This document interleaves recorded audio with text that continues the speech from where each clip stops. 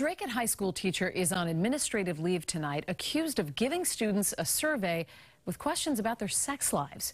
WBZ's Christina Hager's live in Dracut tonight. And Christina, I know you spoke with the teacher. And Lisa, he told us this was a survey someone else authored. But what really has students and parents surprised here is that this was not for a sex ed class. This was for an honors level anatomy and physiology class. I've been asked to make no comment, and I appreciate everyone checking up on me, but I really just want to, I'm going to wait for the decision of the superintendent. Eric Jackson on administrative leave from his job as a science teacher at Dracut High School. Some students left the class actually because they were so uncomfortable with what happened.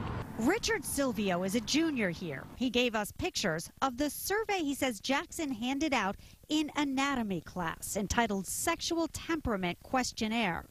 The first question, unless things are just right, it is difficult for me to become, we're leaving the rest out. Another, sometimes I feel so shy or self conscious during sex that. Words that, I, frankly, I don't even want to say on camera. His father and other parents here just as shocked.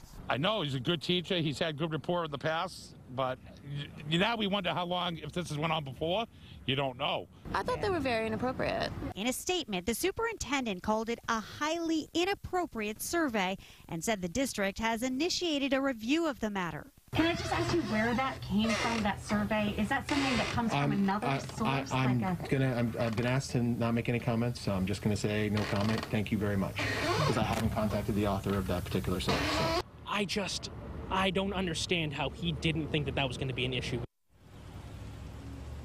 Students and parents tell me that Jackson told the class he didn't expect students to fill this out and turn it in, but rather he was hoping it would be an exercise to get them thinking. Now, by the way, the school board here in Dracut is set to meet tonight, so perhaps this is something board members will be taking up. In Dracut, Christina Hager, WBZ News.